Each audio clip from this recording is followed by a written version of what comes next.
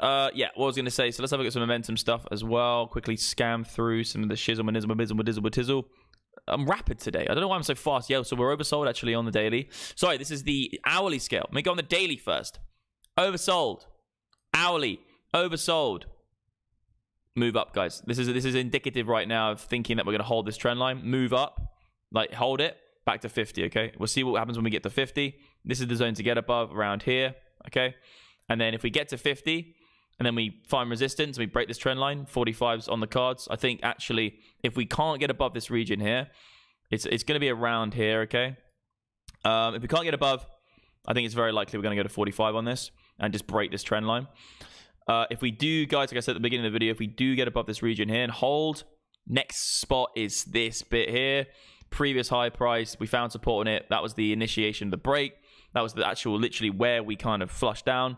And it's the previous high price on the medium term. So if we get above this, maybe down again. If we get above that, it's going to be a great sign for coming back up to previous uh, previous areas of support and resistance SRs. Okay, let's have a look at this as well. Relative strength is probably going to be. It's just coming. It's just bouncing off oversold as well. And then let's have a look at the TD, uh, TTM squeeze on the hourly as well. Again, oversold.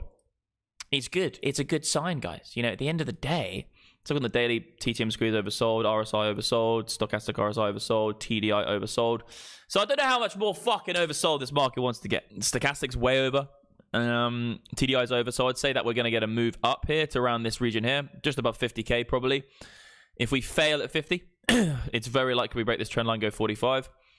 Uh, and if we get above 50 and we hold and momentum still looks good, we could get a good shot at getting the previous high price out of the way. And if we get above that previous high price, um, that's going to be a good sign that this whole entire thing was just a blip in the radar and a blip on the on the you know a fucking fly on the bonnet, whatever you want to call it.